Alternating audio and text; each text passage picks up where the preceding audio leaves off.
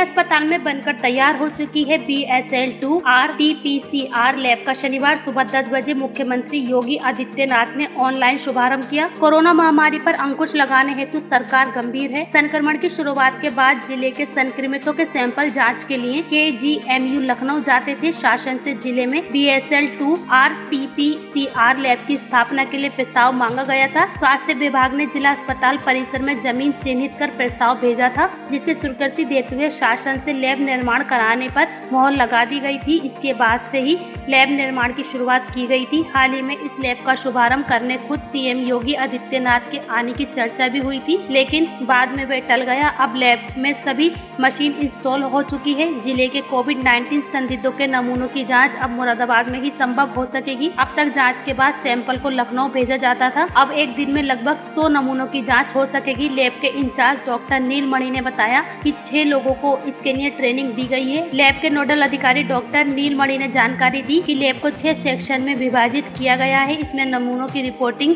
sterilisation section real time PCR section sample collection व R N A निष्कर्षण आदि शामिल हैं। आ, मैं डॉक्टर नीलमणि यहाँ पे माइक्रोबायोलॉजिस्ट की हैसियत से पोस्टेड हूँ और मैं यहाँ पे जो B S L two lab बना है उसमें कोविड जाँच का संचालन करूँगा। मैं और मेरी टीम यहाँ पे जाँच का जो है वो करेगी। अभी तक यहाँ से जितने भी सैंपल थे, वो सारे लखनऊ जा रहे थे। बट अगले कुछ दिनों में जब सारी व्यवस्था यहाँ पे तुस्त दुरुस्त हो जाएगी तो हम सारे जाँच यहीं पे करना शुरू कर देंगे। उससे मरीजों को जो है सेम डे में मिलने शुरू। देखिए, अभी जो हमारे पास मशीन है, वो ढाई घंटे में छियानवे टेस्ट करके दे सकती है। ठीक है? उसी के हिसाब से हमारे पास जितना स्टाफ बढ़ेगा उस हिसाब से हम आगे अपने टेस्ट बढ़ाएँगे। जो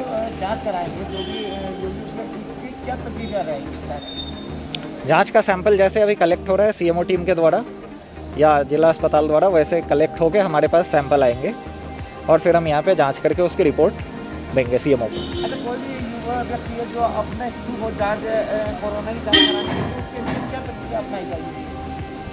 जो भी जाँच हो रही है वो सीएमओ टीम के द्वारा हो रही है डीएसओ के द्वारा हो रही है। वो प्रोटोकॉल सरकार का बना हुआ है। उसी के तरीके से सारी जांचें की जा रही हैं।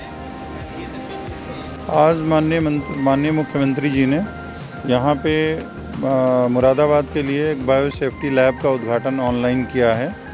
हमारी बायो सेफ्टी लैब अब यहाँ पे स्टार्ट हो जाएगी। हम लोग अभी तक जो भी संदिग्ध कोरोना पेशेंट्स के जो सैंपल होते थे वो हम लखनऊ भेजते थे जाँच के लिए। तो अभी इसके पहले माननीय मुख्यमंत्री जी ने ट्रूनाट मशीन भी यहाँ के लिए जो है मुरादाबाद के लिए उपलब्ध कराई थी। तो उससे हमारे 25 से 30 टेस्ट पर डे हो जाते थे। अब यहाँ पे बायो सेफ्टी लैब, जिस पर लगभग इस पर दो करोड़ का व्यय आया है और ये यहाँ पे प्रदेश सरकार की ओर से दी गई है मंडल स्तरीय चिकित्सालय को। तो मुझे उम्मीद है कि अब जो हम लोग सैंपल लखनऊ भेजते थे तो उससे जो है अब हमें स्थानीय स्तर पर इसकी जो है जाँच की सुविधा उपलब्ध हो गई है और अधिक तेज़ी से जो है कोविड 19 के संक्रमण को नियंत्रित करने में हम सफल होंगे इस लैब के माध्यम से। इसकी टीम अलग होगी जी? जो टीम जो होगी इसकी लैब के अलग होगी क्या अलग होगी। जिला अस्पताल के नाम नहीं नहीं ये बिल्कुल टीम इसकी अलग होगी और अलग से डेडिकेटेड टीम लग गई है और वो लोग इसको अब अलग से संचालित करेंगे।